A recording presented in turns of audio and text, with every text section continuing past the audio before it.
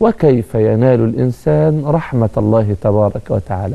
فبرحمة الله تبارك وتعالى تهنأ وتسعد وتحيا حياة كريمة في الدنيا وتحظى برضوان الله تبارك وتعالى في الآخرة.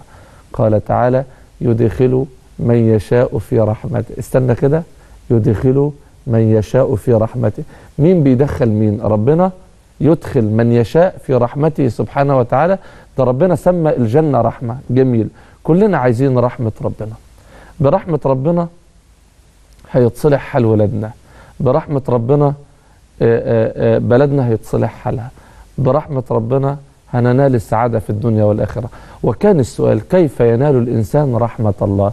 تعال نشوف الآية الكريمة اللي جعلت جزء منها عنوان للحلقة بتاعتنا. فاستغفروا الله واستغفر لهم الرسول. لوجدوا الله توابا رحيما. تعالوا نشوف إيه الآية وبتتكلم عن إيه.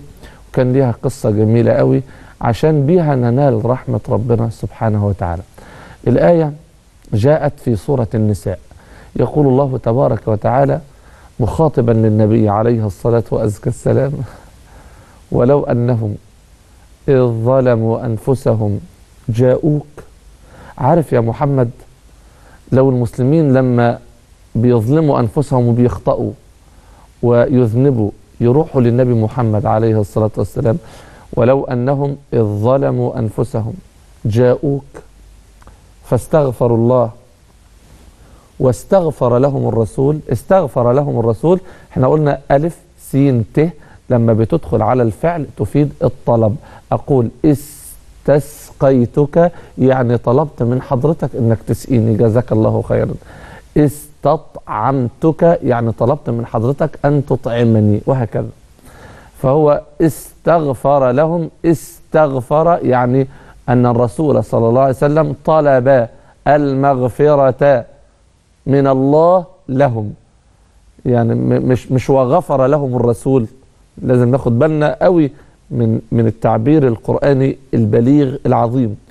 ولو أنهم إذ ظلموا أنفسهم جاءوك فاستغفروا الله واستغفر لهم الرسول والنبي استغفر لهم لوجدوا الله توابا رحيما. هنجد التوبة وهنجد الرحمة من ربنا سبحانه وتعالى. بإيه؟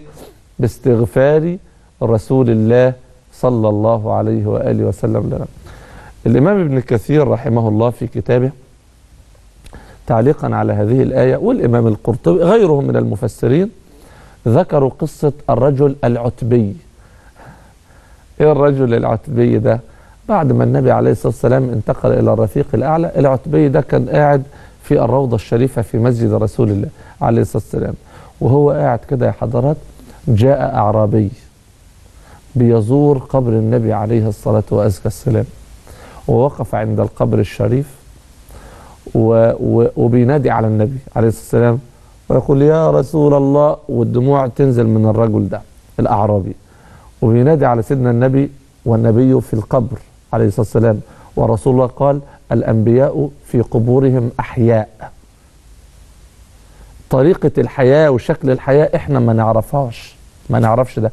لما القرآن يقول إيه؟ ولا تحسبن الذين قتلوا في سبيل الله أمواتا بل أحياء عند ربهم يرزقون. الشهيد حي صح؟ آه طريقة الحياة بتاعته ما نعرفهاش. ما شفناهاش. القرآن قال إن الشهيد حي حي يبقى حي. طب ما بالك بقى بالأنبياء؟ النبي عليه الصلاة والسلام قال الأنبياء في قبورهم أحياء. فهذا الأعرابي وقف عند القبر الشريف وإذا به ينادي على رسول الله وهو يبكي الأعرابي ويقول يا رسول الله علمتنا. فوعينا فهمنا يعني. علمتنا قول الله تعالى ولو أنهم إذ ظلموا أنفسهم جاءوك جاءوك. كفنا الخطاب لرسول الله عليه السلام فاستغفروا الله واستغفر لهم الرسول لوجدوا الله توابا رحيما. قعد الراجل يبكي يقول اديني جيت أهو أنا جيت أهو يا رسول الله عليه الصلاة والسلام. ثم أنشد يقول يا خير من دفنت بالقاع أعظمه في القبر من تحت في القاع وفي الأكم. الأكم اللي هو المكان المرتفع. يا خير من دفنت بالقاع أعظمه فطاب من طيبهن القاع والأكم.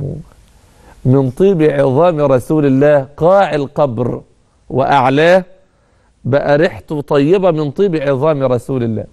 يا خير من دفنت بالقاع أعظمه فطاب من طيبهن القاع والأكم. نفس الفداء لقبر أنت ساكنه فيه العفاف وفيه الجود والكرم. الله. الأبيات دي لحد النهاردة يا حضرات مكتوبة على ساريتين في المسجد النبوي وإحنا بنزور سيدنا النبي عليه الصلاة والسلام.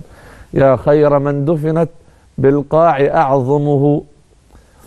فطاب من طيبهن القاع والأكم. نفس الفداء لقبر أنت ساكنه.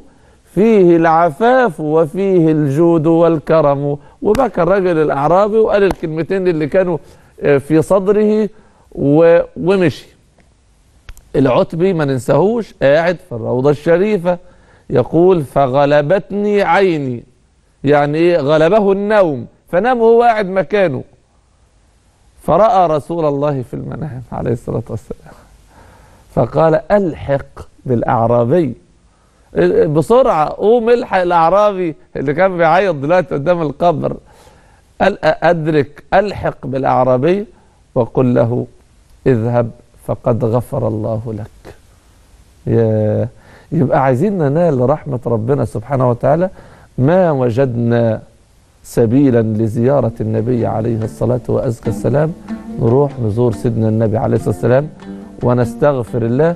ورسول الله صلى الله عليه وآله وسلم استغفر لأمته.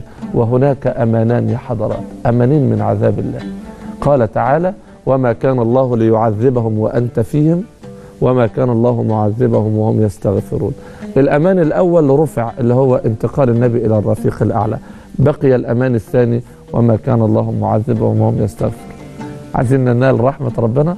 نقرأ الآية اللي جاءت في سورة النساء. ولو أنهم إذ ظلموا أنفسهم جاءوك فاستغفروا الله واستغفر لهم الرسول.